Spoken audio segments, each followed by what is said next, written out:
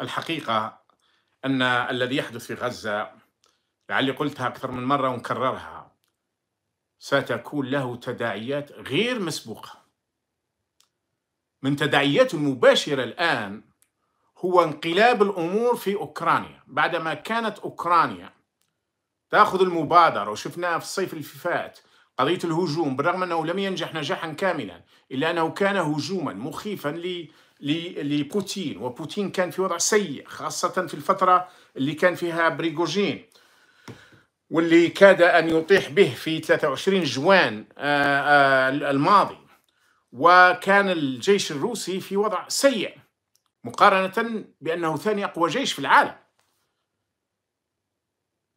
تعرفوا الآن بوتين استرجع المبادرة وأخذ أراضي كثيرة وأخذ عدد من المدن وهاو يجري الانتخابات الآن في هذه الأربع مقاطعات.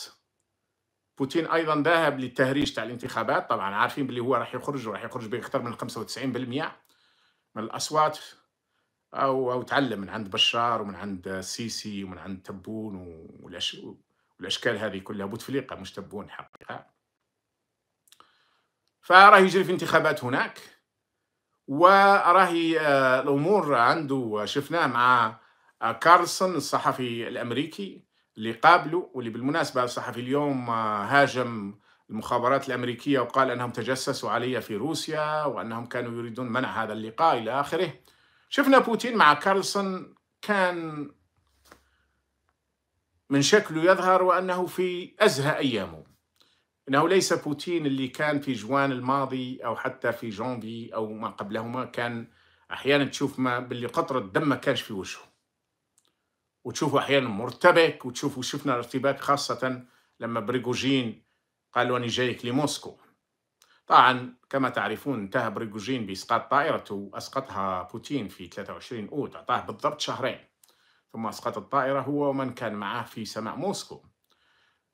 اللي يشوف صورة بوتين مع كارلسون الأمريكي يعرف أنه بالفعل نفسيا مرتاح جسديا مرتاح آه، حتى كان ينكت ويضحك.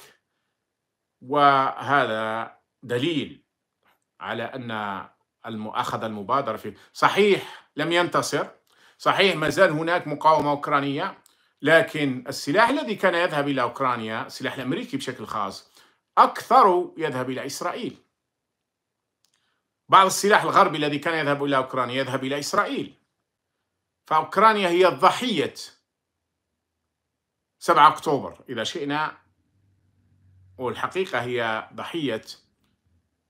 التحالف المطلق مع الكيان الصهيوني من طرف الغرب اللي خلوا أوكرانيا وراحوا يجروا لإسرائيل. لماذا؟ لأن إسرائيل أهم إسرائيل أهم من أوكرانيا. أوكرانيا كانت تفيدهم أنهم يوقفوا روسيا. أما إسرائيل فهي موقفين المنطقة الإسلامية بشكل أو بآخر يستخدموها في إضعافها كلية. أنا لا أقول أن ألقي اللوم على الكيان الإسرائيلي فقط. يعني كما عندنا جواسيس كان هذه إسرائيل انتهت منذ زمان. ولكن بالنسبة للولايات المتحدة وبالنسبة للغرب إسرائيل فوق الجميع وفوق القانون.